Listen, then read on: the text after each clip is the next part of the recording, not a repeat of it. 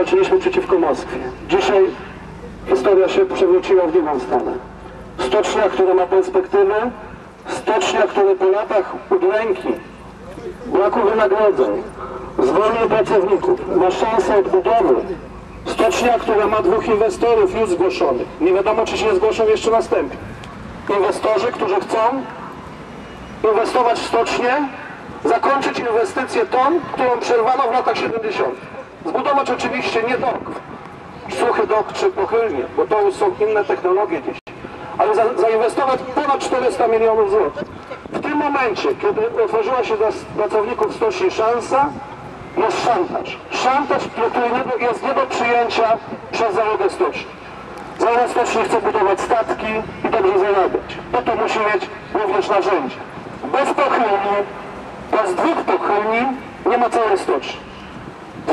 To jest minimum, co musimy mieć. To jest minimum i minimum przez te 5 lat, bo tyle potrzeba na przeniesienie dźwigów, tyle potrzeba na wybudowanie tej platformy do budowania statków przy Wydziale Kajery. Dlatego jedziemy, jedziemy do Brukseli. Solidarność zwycięży znów.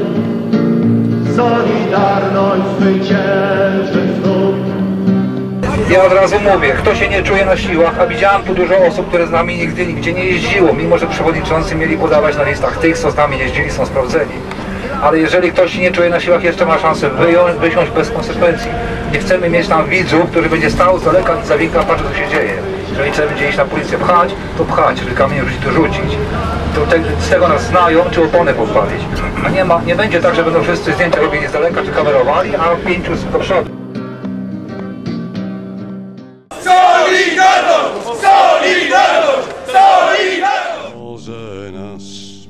Boże nasz, Boże nasz.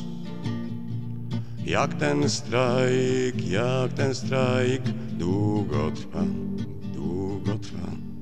Więc dlaczego przetrzymują, postulatów nie przyjmują? Niech pomyślą, ile to kosztuje nas.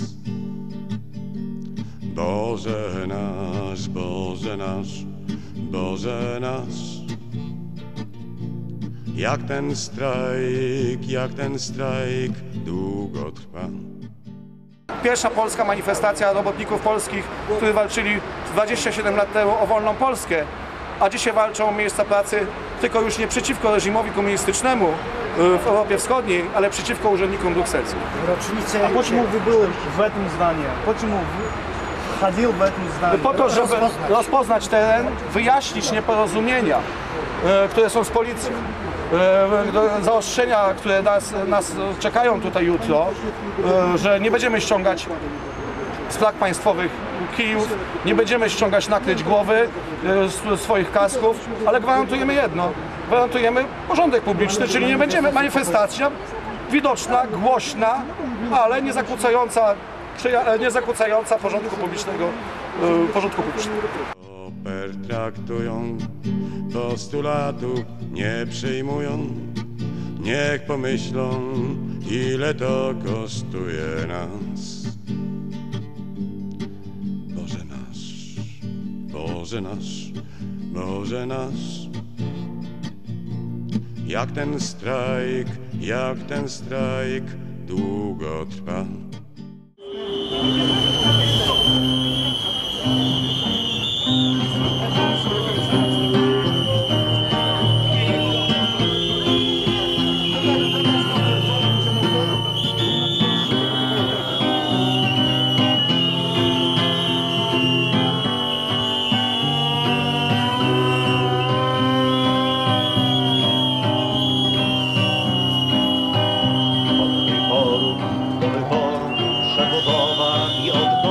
się w wciąż tą samą alią kart.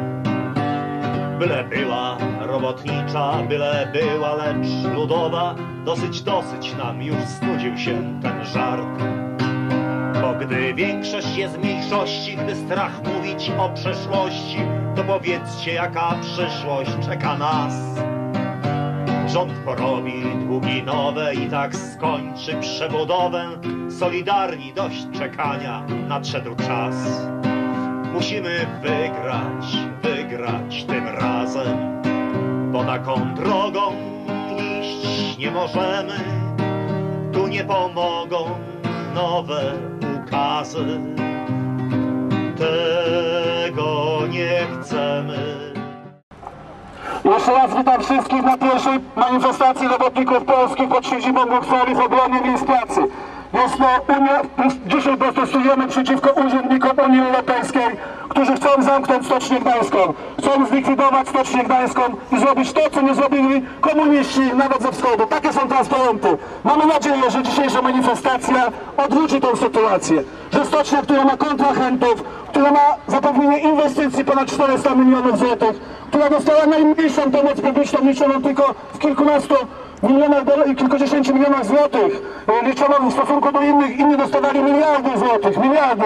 Stocznia Gdańska ma być zlikwidowana. Stocznia zgadza się na opuszczenie Bochylni dopiero w 2012 roku, ale po wybudowaniu przez inwestorów urządzenia do wodowania. Do tego momentu nie opuścimy stoczni. Jest to pierwsza pikieta, Mamy nadzieję ostatnia, ale jeżeli do tego nie dojdzie, będzie oprócz po pomocy rządu również, który neguje, bo główną stroną jest jednak rząd, nie związki zawodowe, oprócz rządu związkowcy będą tu przyjeżdżać częściej.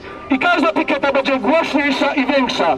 Dlatego już zbieramy pieniądze, apelujemy do tych, co chcą nam pomóc, po to, że jak będzie trzeba, inne zakłady też poprosimy o pomoc. Solidarność zwycięży znów. Solidarność zwycięży znów. Pod bramy przyszły żony i matki, by nas pokrzepić i dodać sił. Nie martwcie się, jesteśmy z wami, gdy zwyciężymy, to łatwiej będzie żyć. Solidarność zwycięży znów, Solidarność zwycięży znów. Solidarność zwycięży znów.